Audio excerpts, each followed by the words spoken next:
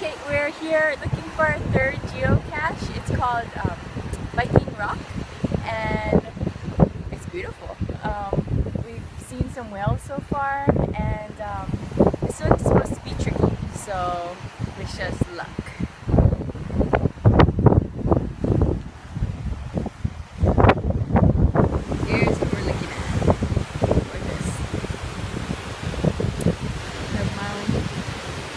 Um, I know we're close. We're close, right, Brad?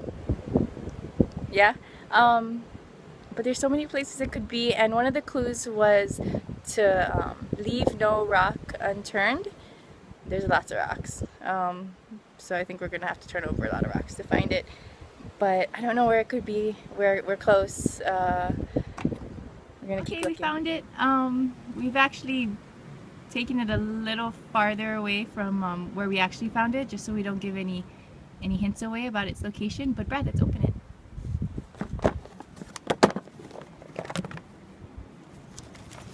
What do you got? What do you got? couple cool coins.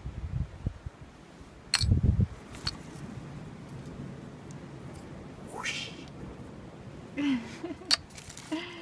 Ah, this one's a little treasure box. Dinosaurs. Dinosaur. Found the third geocache, so that's three for three for us. And I guess all that's left to do is hang out and enjoy the scenery. So happy geocaching, everybody!